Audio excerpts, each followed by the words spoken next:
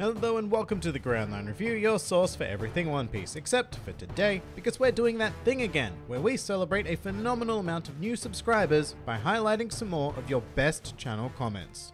Enjoy! So I'd like to begin this video with a comment from Adolf Hitler, which is a sentence I never thought I'd be saying. 2 minutes 26 seconds. Is that Thanos boat? Hitler is of course referring to the Moby Dick which appeared in my top 5 best ships video, and you know what, come to think of it, it does look an awful lot like Thanos. Thank you for bringing that to our attention, Hitler. Speaking of famous figures, it would also appear that the CIA have taken a keen interest in my videos. Don't mind us, just monitoring.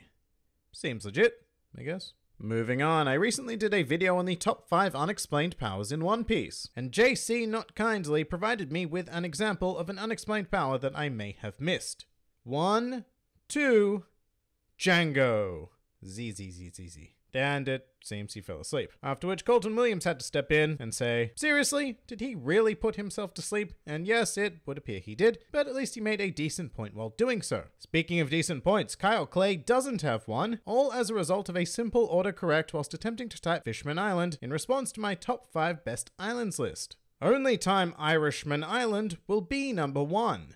But you know what? Come to think of it, when I look back on Fishman Island, there was a surprising amount of Irish imagery going on, and I just can't believe I've never noticed it before now. So thank you very much, Kyle Clay, for bringing that to my attention. Something else commenters really enjoy bringing to my attention is anytime I make any sort of mistake, which happens quite frequently, a trend which William Preto picked up on. You get at least one fact, long per video. I don't know if it's your source material or translations, but I see it a lot. And William, I have to yell your name because it's in all caps. My apologies for getting facts wrong. I'll attempt to get less facts wrong in the future. I mean, it was just wrong of me to have ever done so in the first place. Now let's transition into some more hardcore criticism from Moonman VVV. This bitch tries to be more cringer than Tekking 101. And I'd like to emphasize the word tries there. Look, maybe I'll get there one day, but that is one hell of a tall mountain to scale. Instead, let's focus on a rather dissatisfied user by the name of Cheese D Hat, who had strong opinions about my top 5 best hats list.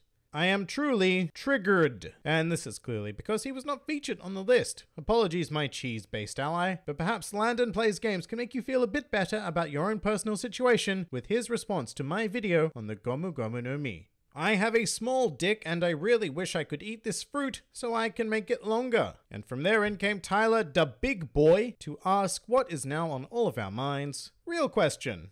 How long? I guess it's more like real question?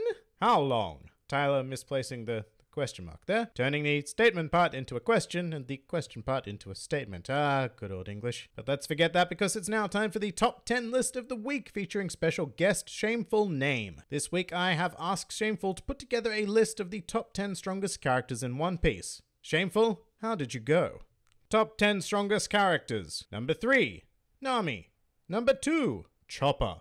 Number 3, again, God Usopp. Shameful name, clearly not quite understanding the concept of what a what a top 10 list actually is. Alright, well, let's clean up this mess by getting down to business. Last week, you were all posed an absurdly important question from Chloe D. Fire, who inquired as to whether or not can ass eat Wapol? And well, Chloe, we have our answers. First up, we have the sly silver fox who clearly lands in the affirmative camp. What kind of question is this? How do you think he became such a shitty villain in the first place? And that's a fair point. There you have it, a potential explanation for Wapol's origin story. But the sly silver fox wasn't the only user to express an affirmative opinion though, as we also have Horst the Second.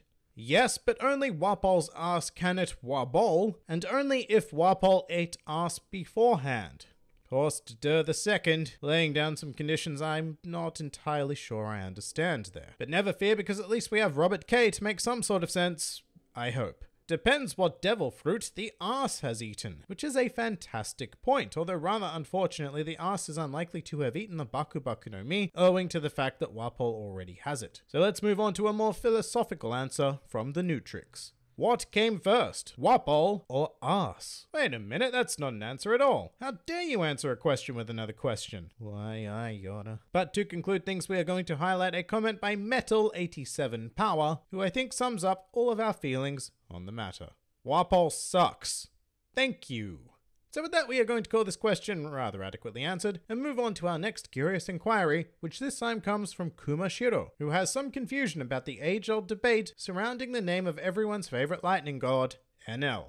Is it Enel or Anal? So, I very much look forward to your answers to that.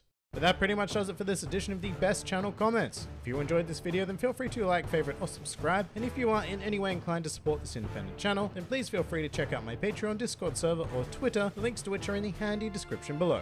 This has been the Grand Line Review, and I'll see you next time.